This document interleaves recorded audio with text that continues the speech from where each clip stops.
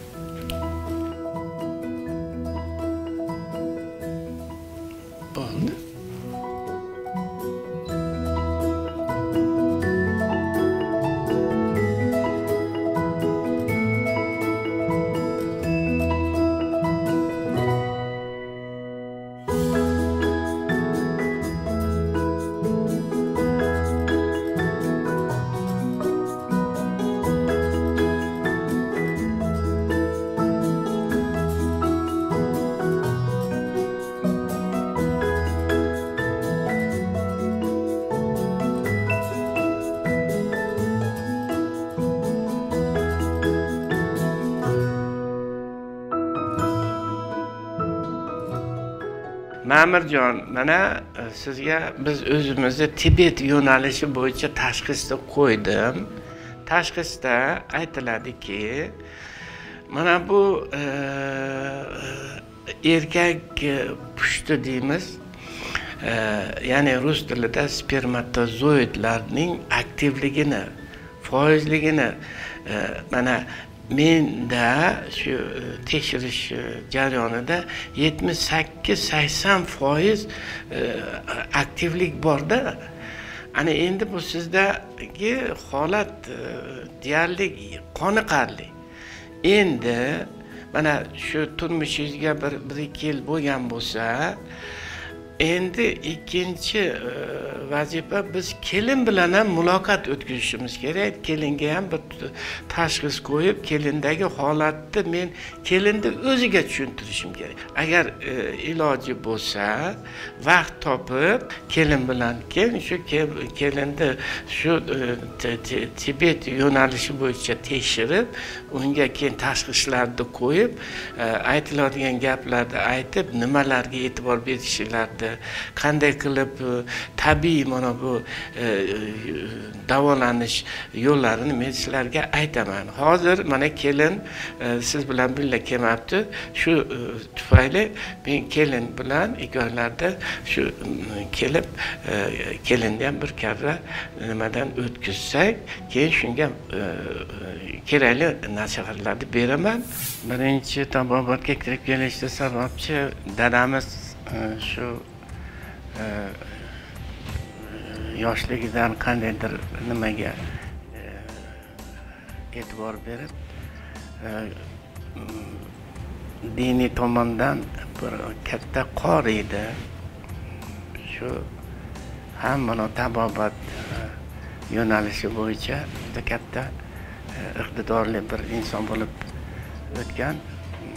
Shu dadamizdan qolgan tabobatda davom etkazishga bizga o'rgatgan yoshligimizda.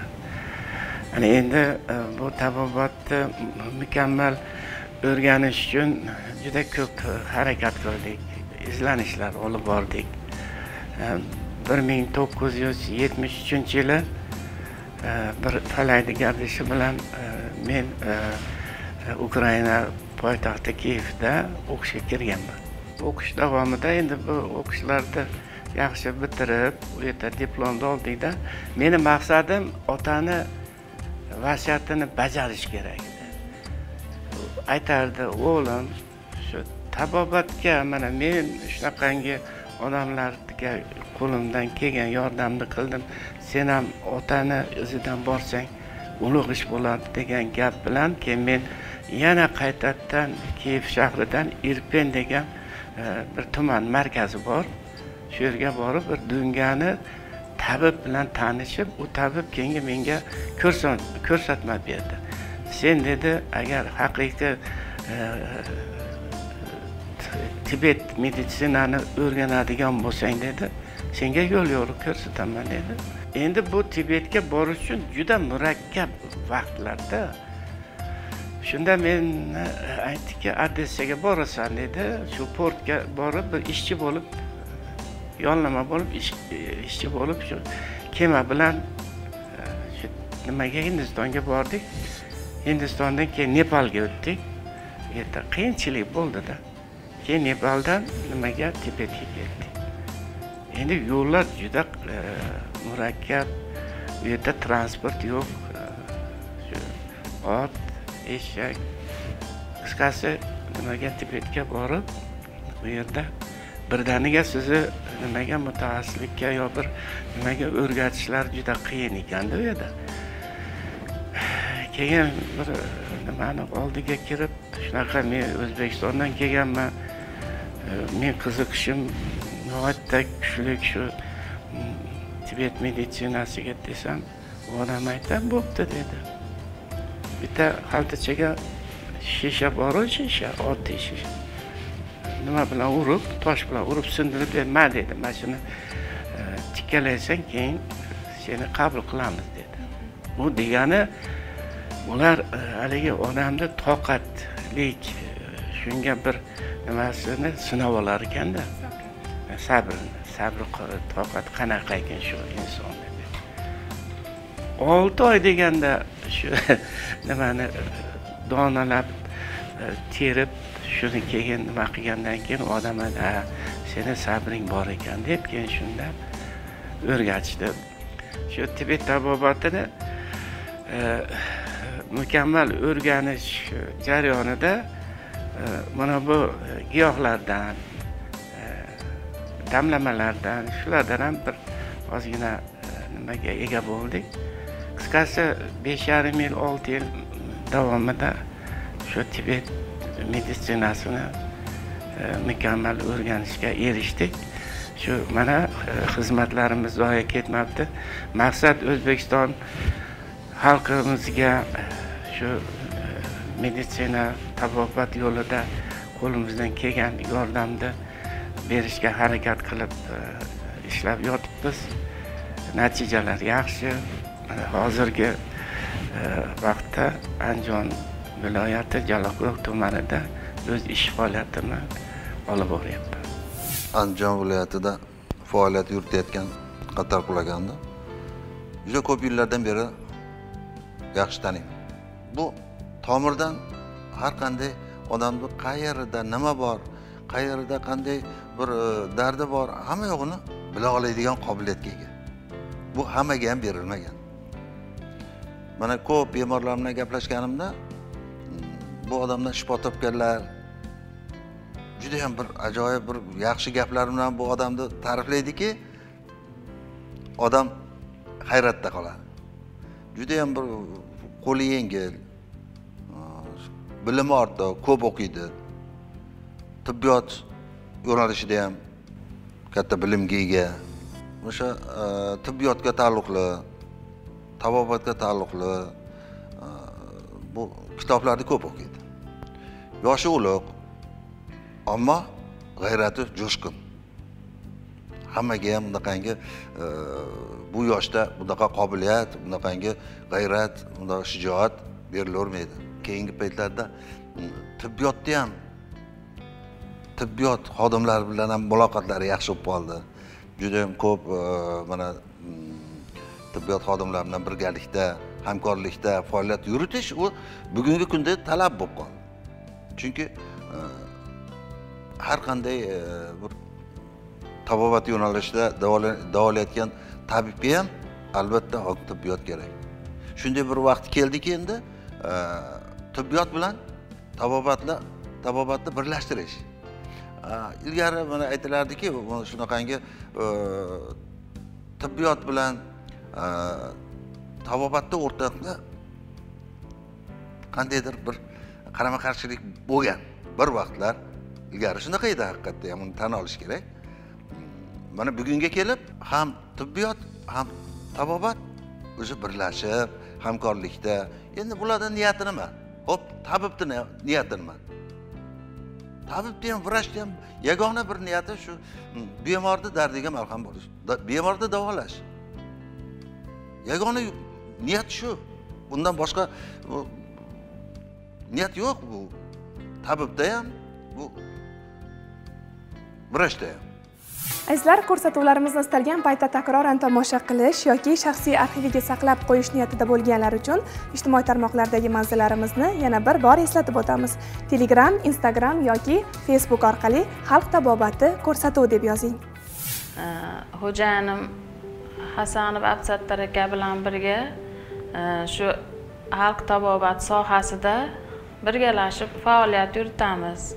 E, ko'proq biz yordam beramiz u kishiga. O'zi asosan u kishi hamma narsani o'zi anaqa tashxis qo'yadi davolaydi biz faqat endi yordamchilarimiz. Judayam sabrli odamlar rosayam sabrlari kuchli. Misol uchun e, har xil bemorlar keladi. Misol injiqroqlari keladi ko'p gapiradiganlari keladi lekin hammasi bilan e, o'zini ko'ngliga qarab xarakteriga qarab hammani ko'nglini olib chiroyli anaqa tashxislar qo'yib yaxshi davolab chiqaradi har doim. Hali shu paytgacha biron kishi norozi bo'lgan emas qo'ygan tashxislaridan ham e, davo usullaridan ham allohga behisob shukur hammasi yaxshi.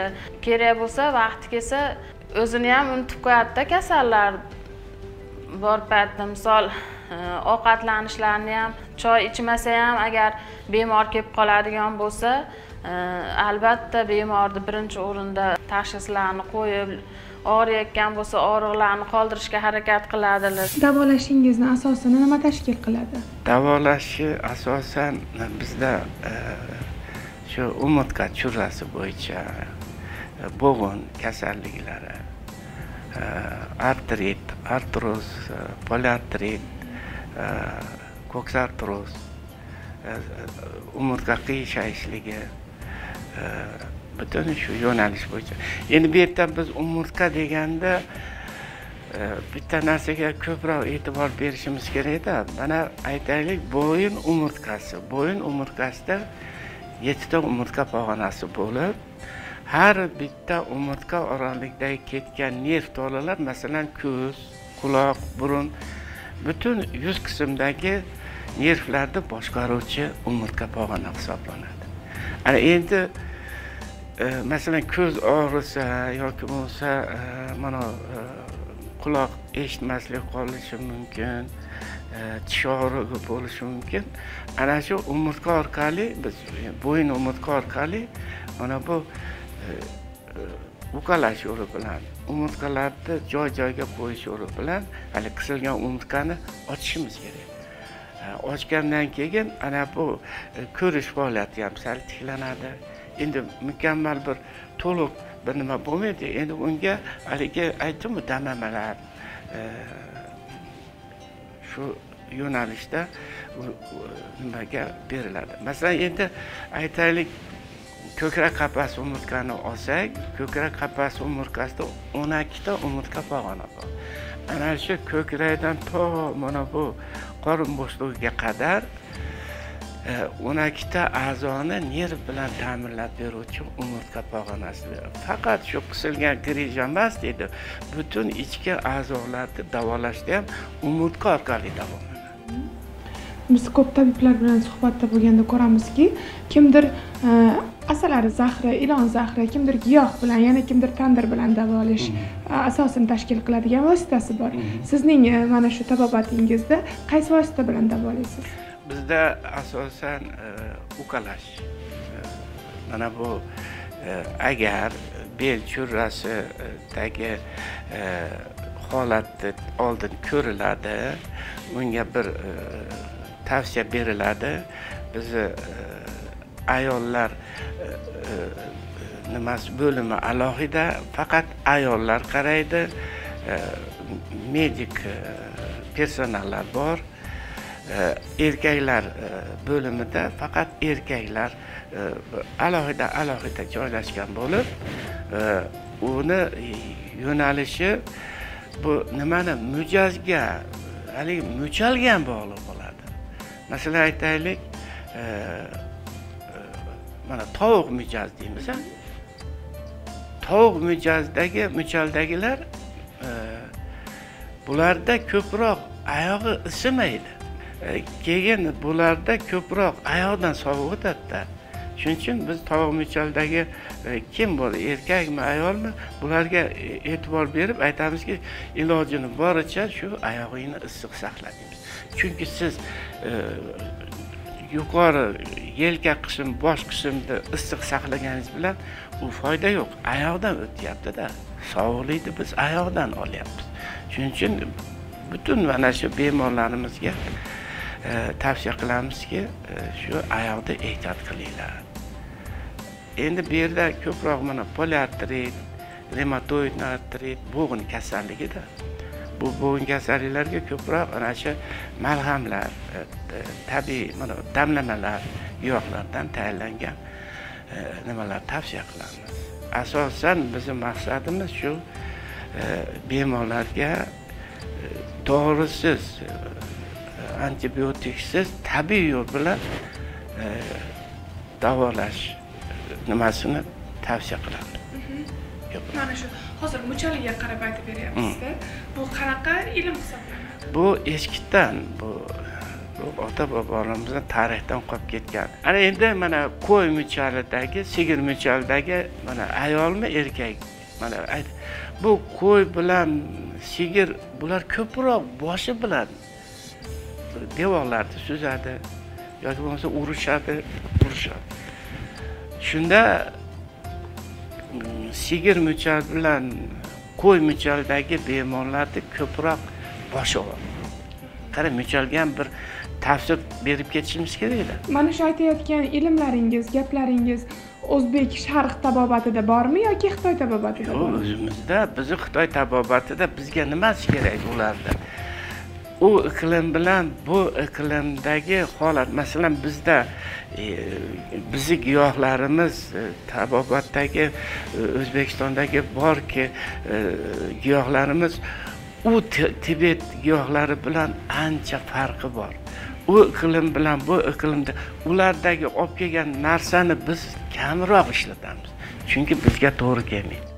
Bizniki ularga to'g'ri kelmaydi. Bizga eng asosiy nima kerak ularda? E, keraklik e, uslublarini o'rgandik xolos. Biz o'zimizni meditsina tabobatimiz juda yuqori dunyo bo'yicha tan oladi e, meditsina meditsina tabobatini shuning uchun bizni qayerga borsak bizni hurmat qiladi. Tabib Ab- absattor doktorimizni davo istab keluvdik. Kelganimda doktorimiz grija deb tashxis qo'yishdi. Oyog'im belim tortib og'rirdi grija ekan. Kelganimga olti kun bo'ldi. Kelganimizdan beri yaxshi yaxshi o'zgarish yaxshi. Bu yerdagi yaxshi yaxshiligi tufayli o'zgarishlarimiz oldinga yuryapti. Holatimiz yaxshi.